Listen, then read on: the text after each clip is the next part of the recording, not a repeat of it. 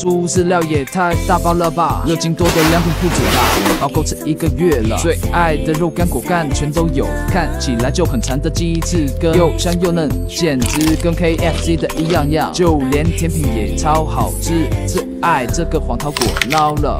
哎，狮子一样大的辣片，越吃越香，真的好上头耶！打算去健身的姐妹在吗？先来备好这个鸡肉小王子家的鸡胸肉，每个口味都很绝，鸡肉鲜嫩多汁腌入味了超好吃，水果沙拉一起吃健康又低脂。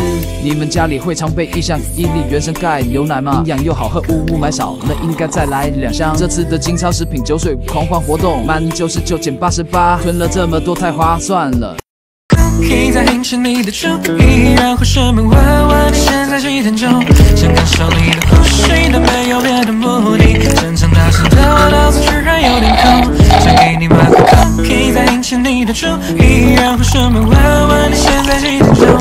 想感受你的呼吸，但没有别的目的。正常大声的我现在，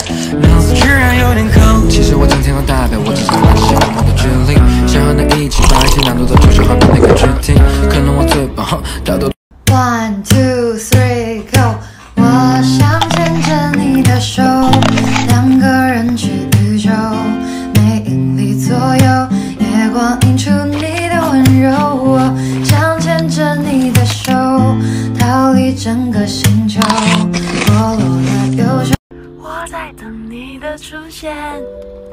我想这是吸引力的定律，找到你，想对手在一起，我和你早已慢慢靠近，想和你去南极，想带你看流星，奇怪我怎么？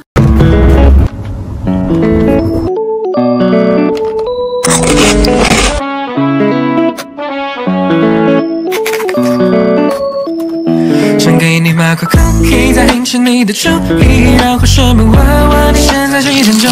想感受你的呼吸，但没有别的目的。正常大声的我脑子居然有点空，想给你买块。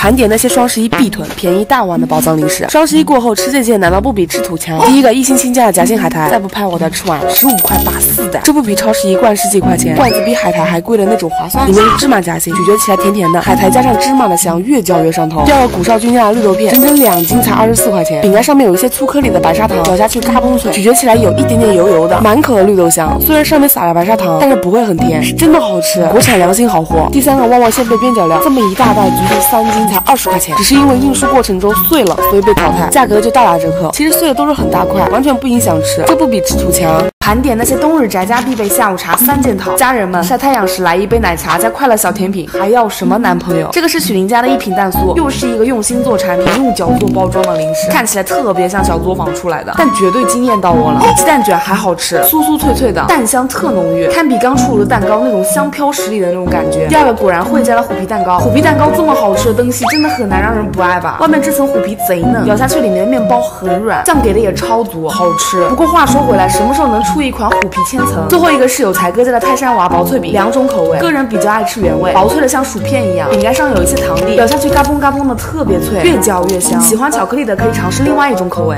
中国那些不为人知的地方特产美食，只要不停产，可以吃一辈子。第一个黄山烧饼，有没有安徽的同学出来吧？你们家做的烧饼太绝了！这是梅干菜猪肉馅儿的，咸香口感，后味又带一点甜，嚼着很香，超级超级酥脆。十块钱我买了两包。香酥辣椒也是十块钱，我第一次见能把辣椒做成零食的，居然吃了还停不下来。辣椒像是炸出来的干辣椒，不会很咸香酥脆，又能下饭又能下酒。和老干妈并肩的神级蘸料丹山蘸这个蘸料我可以说蘸鞋底子都好吃。云南人民太会吃辣椒，用它炒菜做酱料都很绝。